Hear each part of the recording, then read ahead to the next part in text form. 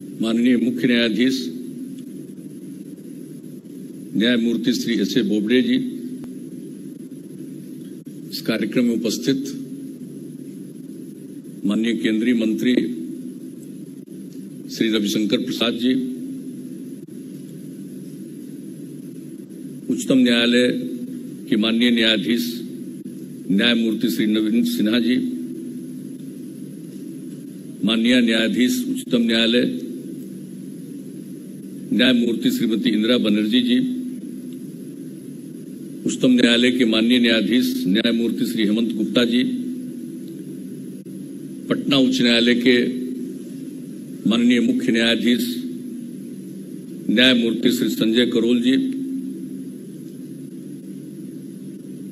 पटना उच्च न्यायालय के माननीय न्यायाधीश न्यायमूर्ति श्री शिवाजी पांडे जी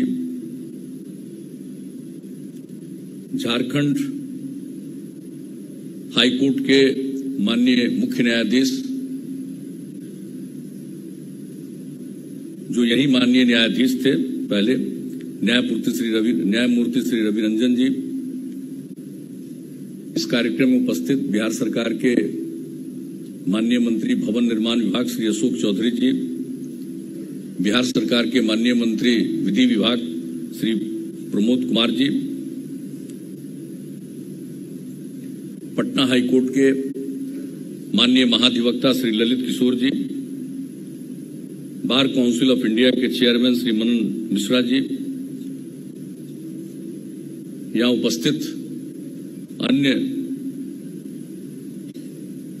न्यायिक संगठनों के सभी नेतागण, यहाँ उपस्थित पटना उच्च न्यायालय के सभी माननीय न्यायाधीशगण उच्चतम न्यायालय के पूर्व माननीय न्यायाधीशगण, पटना उच्च न्यायालय एवं अन्य राज्यों के उच्च न्यायालय के पूर्व माननीय मुख्य न्यायाधीश और इस कार्यक्रम में भाग ले रहे सभी माननीय अधिवक्तागण, विशिष्ट अतिथिगण, प्रिंट एवं इलेक्ट्रॉनिक मीडिया के पत्रकार मित्रों, छायाकार बंधुओं, कार्यक्रम उपस्थित बहनों एवं भाइयों। मैं सबसे पहले माननीय न्यायमूर्ति श्री एस ए बोबडे जी का और अन्य सभी माननीय न्यायाधीशगण का और आप सब लोगों का मैं स्वागत करता हूँ, अभिनंदन करता हूँ। आज के इस कार्यक्रम में आप उपस्थित हुए मुझे तो बहुत खुशी है कि आज पूरे तौर पर जो पटना उच्च न्यायालय के शताब्दी भवन बनाने का निर्णय हुआ और इस कार्यक्रम का शिलान्यास भी 4 फरवरी 2014 को हुआ था। उस दिन बसंत पंचमी का दिन था। और जब शिलान्यास का कार्यक्रम हुआ था, उसमें भी मुझको आने का मौका मिला था। और आज जब ये भवन निर्मित हो गया है, आज उसका उद्घाटन हो गया है उस अवसर पर भी मुझको शामिल होने का मौका मिला है, मुझे बड़ी खुशी हो रही है। और पहले तो हम लोगों ने जो सोचा था उस समय, जो 2014 में हुआ तो हम लोग तो सोच रहे थे कि 100 साल पूरा होगा। 2016 में तो उस समय ही बन जाएगा, लेकिन कई प्रकार की बातें आती रही। दिन भर अगर काम हो तो फिर जुडिशियरी को समस्या थी तो कई तरह की ऐसी बातें और हमारे जितने यहाँ के माननीय मुख्य न्यायाधीश अन्य न्यायाधीशगण सब देखते रहे इन सब चीज़ों को और इसके बारे में बहुत सारी चीज़ों का इसमें सुधार करवाया और उसके चलते जो भी लगा, हालाँकि अगर ये जो कोरोना का दौर नहीं होता पिछले वर्ष तो ये पिछले ही वर्ष इसका विधिवत उद्घाटन हो गया होता। लेकिन आज ही हुआ है और अभी तो बताया गया है, सब लोगों ने यहाँ के बारे में और इसको पुराने भवन के अनुरूप बनाया गया है, विस्तारित भवन को भी। और इस काम का, इस परियोजना का पूरी लागत हुई है 203 करोड़ चौरानवे लाख रुपया। और शताब्दी भवन के दो खंड, जिसमें पाँच तल हैं, और शताब्दी भवन के दोनों खंड नए पुराने भवन कनेक्टिंग ब्रिज से जुड़े हुए हैं। और आप सब लोगों ने इसके पहले भी बता दिया इसमें न्यायालय कक्षों की संख्या 43, माननीय न्यायाधीशों की कक्षों की संख्या संतावन उच्च न्यायालय में बैठकों के बैठकों के लिए छह कमेटी रूम नब्बे व्यक्तियों के बैठने के लिए एक कॉन्फ्रेंस रूम का निर्माण किया गया है। माननीय न्यायाधीशों के लिए एक लाउंज और पुस्तकालय का भी निर्माण किया गया है।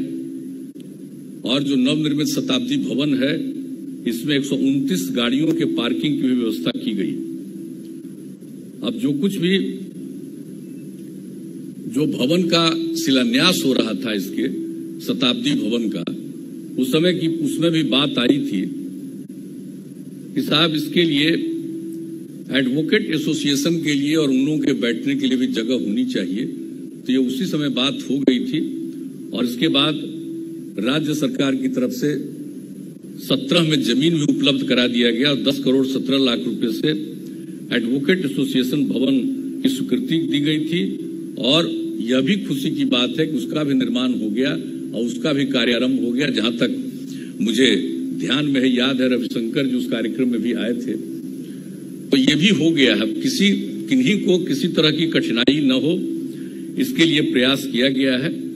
और ये तो बहुत ही महत्वपूर्ण न्यायालय है, इस उच्च न्यायालय है, इसके बारे में सब लोगों ने अपनी बात रखी, उसको दोहराने की ज़रूरत नहीं है, लेकिन इनसे कितनी बातों की जानकारी मिल गई? और ये कौन नहीं जानता? है जब देश के पहले राष्ट्रपति, स्वतंत्रता संग्राम के बहुत बड़े नेता डॉक्टर राजेंद्र प्रसाद जी थे, उसके अलावा सच्चिदानंद सिन्हा साहब थे, इन सब लोगों का इस कोर्ट से मतलब रहा था। और जब बापू आए थे, गांधी जी आए थे चंपारण सत्याग्रह जो शुरू हुआ था तो उसी समय इन सब लोगों का रिश्ता उनके साथ हुआ था। और उसके बाद आज़ादी की लड़ाई के साथ जो रिश्ता हुआ, कितना आगे बढ़े तो यहाँ के बारे में कुछ भी देखने से पटना हाईकोर्ट के बारे में कितना हम सब लोगों को जो बिहार के रहने वाले हैं, उनको बहुत भीतर से खुशी होती है और ये गौरवान्वित करता है कि कैसी स्थिति और कितने फैसले होते हैं, कितना सब कुछ देखा जाता है, और पहले तो मात्र सात थे, अब बढ़ते बढ़ते जजों की संख्या बढ़ती गई। अब तो उसके बाद जितने कोर्ट्स होते हैं और सब तरह के मामलों का निष्पादन किया जाता है, ये अपना में, अपने आप में बहुत महत्वपूर्ण है। और जो काम यहाँ पर हुआ है, एक बात का हम ज़िक्र ज़रूर करना चाहेंगे, जब बिहार के लोगों ने हम लोगों को यहाँ पर काम करने का मौका दिया तो उस समय से ही 2006 में पटना हाईकोर्ट की तरफ़ से भी मीटिंग की गई। और किस तरह से अपराध पर नियंत्रण हो और तेज़ी से ट्रायल और इसके लिए जो सब प्रयास किया गया, और हमारे जो उच्च न्यायालय के माननीय न्यायाधीश गण थे, जिनके जिम्मे जो जिला होता था, वो एक एक ज़िले पर नज़र रखते थे कि तेज़ी से ट्रायल हो और उसके चलते हुआ कि अपराध करने वालों को के बारे में कितने निर्णय हुए। और ये तो कोई भी चीज़ बात सामने आती है, ये देखना तो माननीय न्यायालय का काम है, वो देखेंगे। अगर संतुष्ट है कि ये बात सही है तो उसके ऊपर तो कितने लोगों को सजा मिली। और उसके चलते जो यहाँ बिहार में एक जो वातावरण था, अपराध का, उस पर बहुत हद तक नियंत्रण हुआ। और इसके लिए हम लगातार बोलते रहे, ये सिर्फ़ सरकार की जिम्मेवारी नहीं है। ये जो न्यायालय ने काम किया, उसके चलते जो लोगों को सजा मिलनी शुरू हुई तो बिहार में क्राइम की कमी आई। लेकिन फिर भी समाज में तो कुछ लोग ऐसे होते हैं कि चाहे कुछ भी कर दीजिए, चाहे जितना भी कानून बन जाए, न्यायालय से किसी को कितनी भी सजा हो जाए, सब कुछ हो जाए, लेकिन फिर भी कुछ लोगों की मानसिकता तो गड़बड़ होती है। और यह मनुष्य के स्वभाव में ही होता है। ज़्यादातर लोग ठीक स्वभाव के होते हैं, लेकिन कुछ लोग गड़बड़ स्वभाव के होते हैं। तो तो कुछ करते ही रहते हैं। इसलिए कानून कब से बना है, सजा कितनों की होती है, तब भी कुछ ना कुछ अपराध होता ही रहता है। लेकिन हम तो यही प्रार्थना करेंगे कि कम से कम ये जो ट्रायल का काम है, वो तेज़ी से अगर चलता रहेगा तो हम समझते हैं कि बहुत हद तक अपराध पर वो नियंत्रण लेगा। ये चीज़ तो हम लोग चाहेंगे और हम लोगों को तो इतना ही कहेंगे कि साहब, कानून का राज स्थापित करना है तो ये कोई सरकार की जिम्मेवारी सिर्फ़ नहीं। सरकार का जो मौलिक काम है वो तो करता ही है, करेगा ही। लेकिन जो सबसे बड़ी बात है कि जब न्याय का प्रश्न है तो इसके लिए जो जिम्मेवारी है, न्यायपालिका को तो यहाँ से ही जब कुछ होता है, तभी इन सब चीज़ों पर नियंत्रण होता है। तो मेरे हिसाब से जो काम हो रहा है, हमको लग रहा है कि पूरे तौर पर सब कुछ है और एक बात हम कह देना चाहते हैं, अभी हमारे माननीय मुख्य न्यायाधीश महोदय ने भी कहा, पटना उच्च न्यायालय ने, हम लोगों के पास जो भी प्रस्ताव आता है, हम लोग उसको स्वीकार करते हैं और आगे भी आपको वचन देते हैं। जब तक हम हैं, काम करते हैं, हम लोग काम कर रहे हैं, तब तक हम आपको इतना वादा करते हैं कि और भी जहाँ जो कुछ भी ज़रूरत है, न्यायपालिका के लिए, जिस स्तर पर भी न्यायपालिका के लिए ज़रूरत है, और जो भी उसके लिए ज़्यादा से ज़्यादा नियुक्ति का मामला हो या भवनों के निर्माण का मामला हो, जो भी आप लोगों की तरफ़ से प्रस्ताव होगा, आप लोगों की तरफ़ से बात आएगी, हम लोग उसको तत्काल स्वीकार करके इस काम को प्राथमिकता देंगे और इस काम को हम लोग करते रहेंगे। क्योंकि न्यायपालिका सबसे ज़रूरी चीज़ है। सिर्फ़ सरकार की बात नहीं है। इसलिए सब लोगों को मिलकर के ये सब चीज़ों को जो काम करना है तो आप सब लोगों को मालूम है कि साहब विधायिका तो कानून बना सकता है। जो कार्यपालिका यानी सरकार की जो जिम्मेवारी है, वो अपना काम करती है। लेकिन जो सबसे बड़ी भूमिका संविधान के मुताबिक, वो न्यायपालिका की भूमिका। किसी गलत आदमी को कोई तंग नहीं कर सकता है और गड़बड़ करने वाला आदमी बच भी नहीं सकता है। इसलिए कोई मामूली चीज़ थोड़ी है, इससे बड़ा न्याय और क्या हो सकता है? यही तो है।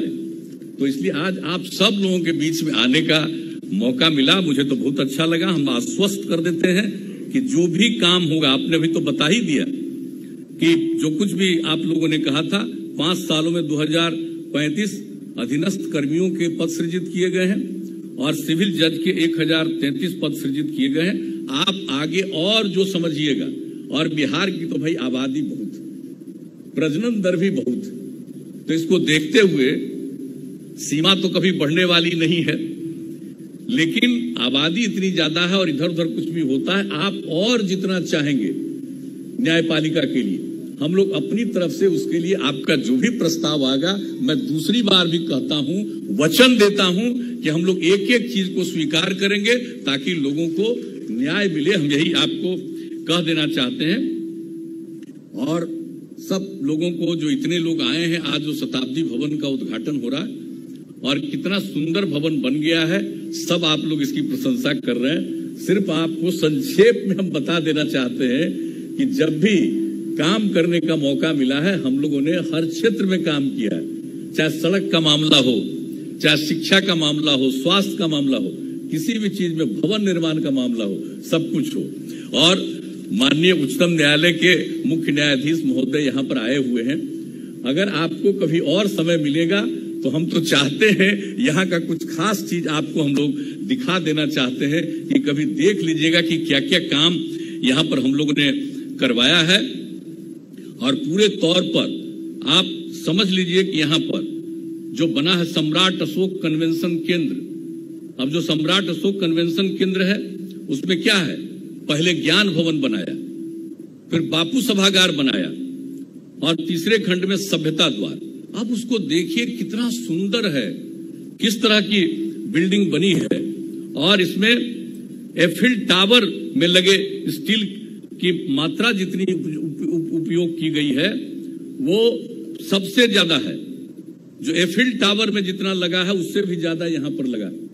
तो इस तरह से हम लोगों ने अगर इस, ऐसे तरह के कामों की शुरुआत की है तो कभी कुछ ना कुछ इन सब चीज़ों को देखने का है। बिहार संग्रहालय बना। इस देश का पहला अंतर्राष्ट्रीय स्तर का संग्रहालय हम लोगों ने बनाया है। कभी मौका हो तो एक बार ज़रूर यहाँ के बिहार संग्रहालय को भी देख लीजिए कि किस तरह का ये बनाया गया है और बिहार संग्रहालय में बहुत अच्छे ढंग से, हर प्रकार से हम लोगों ने किया है काम। तो हर तरह से हम लोग चारों तरफ़ भी करते हैं। अब पुलिस मुख्यालय जो बना सरदार पटेल भवन, अब वो भी देख लीजिए। रिक्टर स्केल नौ तक भी आएगा। तब भी जाकर के भूकंप आने पर उसका नियंत्रण वहाँ पर होगा।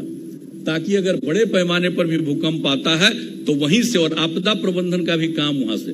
तो हमने संक्षेप में इसको विस्तृत, बहुत बताने की ज़रूरत नहीं है। सब, हम सब लोग चाहते हैं कि हमारे माननीय न्यायपूर्ति बोबड़े साहब आए हुए हैं। उनकी बात हम लोग सुने, ये खुशी की बात है। और हम सब लोगों के लिए ये बहुत ही प्रसन्नता की बात है और हाईकोर्ट और हाईकोर्ट के दिशा निर्देश में यहाँ के न्यायपालिका और विकसित ढंग से और बेहतर ढंग से काम करती रहेगी। इससे बहुत अच्छा होगा और इससे एक विकास होगा, तेज़ी से विकास होगा और कई प्रकार के काम होते हैं। उन सब कामों में इसमें सहूलियत होगी। इसलिए न्यायपालिका की सबसे बड़ी भूमिका है। तो आज इस अवसर पर यहाँ आकर के इस कार्यक्रम में शामिल होकर के हम लोगों को बहुत खुशी हो रही है और आप सब लोगों के साथ बैठने में जो मौका मिला है, इसके लिए खुशी होती। नहीं तो आपके हाथ में जो अधिकार हम लोग तो चाहते हैं, वो बिल्कुल पूरे तौर पर इसी तरह से चलता रहे, ताकि कोई गड़बड़ करने के बारे में नहीं सोचे और किसी भी सही आदमी को किसी प्रकार से उसके प्रति अन्याय नहीं हो सके। तो यही तो न्यायपालिका, और यही तो सबसे बड़ी चीज़ है न्याय। है इसलिए आप सब लोगों का मैं अभिनंदन करता हूँ। राज्य सरकार की तरफ़ से और आप सब के प्रति मैं आभार व्यक्त करता हूँ कि आप सब इस कार्यक्रम में शामिल होकर के यहाँ पर उपस्थित हुए हैं इन्हीं शब्दों के साथ आप सबको बहुत बहुत धन्यवाद देते हुए मैं अपनी बात समाप्त करता हूँ